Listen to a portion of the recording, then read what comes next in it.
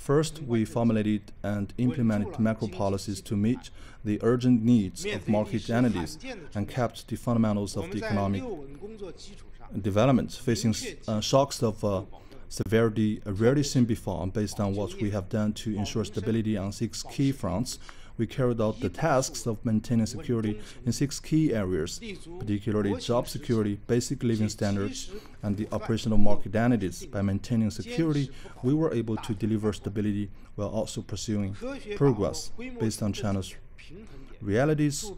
We refrained from pumping uh, money onto the market. We took decisive measures to strike balance between various macro policies.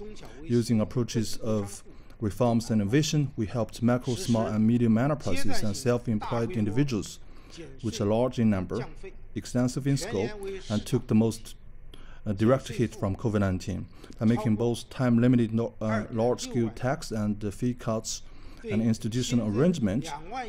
We reduced the tax for more than 2.6 trillion yuan this year, including 1.7 trillion yuan in social insurance premium cuts and examples, exemptions.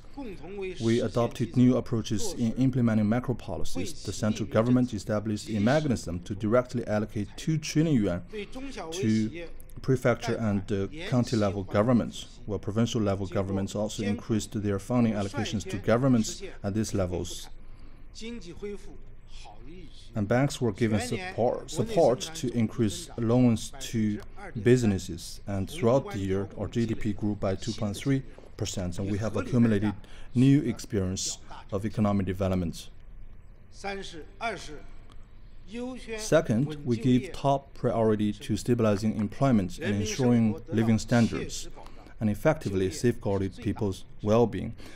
Employment is pivotal to people's well-being our efforts to keep market entities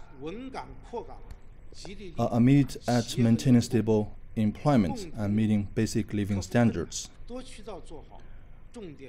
We are working with multiple uh, dimensions and channels to support mass entrepreneurship and innovation by all.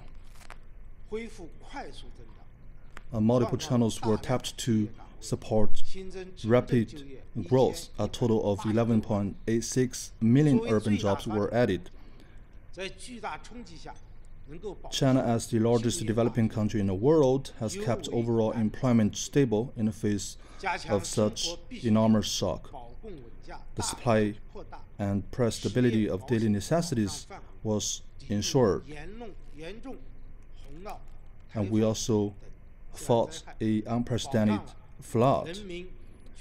With all these measures, we have protected the safety and security of people's properties. Third, we made decisive progress in the three critical battles and achieving major targets and tasks as planned. We increased funding for poverty alleviation by a consi considerable sum. Counties and villages facing difficulties were placed under special supervision to see that they fully implement our assistance and support policies. We worked hard to reduce poverty through the development of local industries and to promote consumer spending. A total of 5.51 million people were lifted out of poverty in 2020, and uh, all the 52 poor counties were lifted of uh, poverty. We also scored important results in environmental protection and in ensuring blue sky. We also ruled out some major risks for financial uh, instabilities. Fourth, we continued to advance reform and opening up we improved the system and the mechanisms for the market allocation of production factors. We supported the SOE reform and also the development of uh, private enterprises. Steady progress is made under the framework of the Belt and Road Initiative. Uh, fifth, we vigorously supported technological transformation and innovation. We developed China's international centers for science and technology innovation and uh, Tianwen 1 Mars mission was successfully launched, and Chang'e 5 lunar mission and uh, the Fendouzhe Deeper Sea and Deep Sea Manned Submersible were all successful. Six, we advanced the new urbanization and the rural revitalization and improved the layouts of urban-rural development and development among regions. Efforts were made to improve the layouts of urban and uh, rural development. Grain output continued to increase, and rural revitalization is well underway.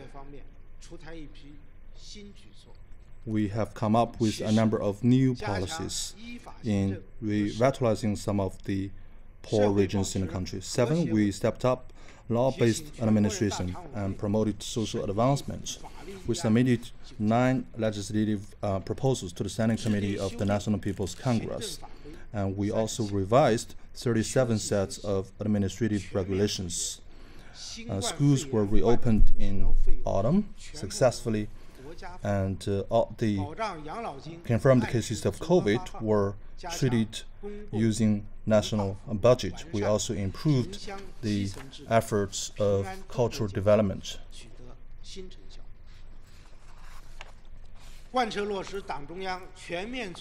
Better public cultural services were provided Primary level governance in urban and rural areas was enhanced, solid steps were taken to address public complaints, and audit based oversight was vigorously conducted, and State Council accountability inspections were carried out. We were successful in pursuing China's major country diplomacy. President Xi Jinping and other party and state leaders hosted or attended via video link major diplomatic events, including the extraordinary China Africa Summit on solidarity against COVID 19, high level meetings commemorating the 75th anniversary of the United Nations, the 73rd World Health Assembly, the G20 Leaders Summit in Riyadh, and the APEC Economic Leaders Meeting, the 22nd China EU Leaders Meeting, and East Asia Leaders On Cooperation. We upheld multilateralism and endeavored to build a human community with a shared future.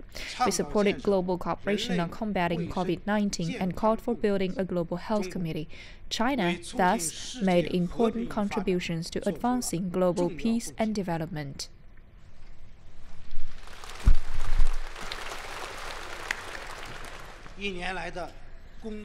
Our work last year was truly challenging. Yet, local authorities and government departments across the country kept in mind the big picture and shouldered responsibilities.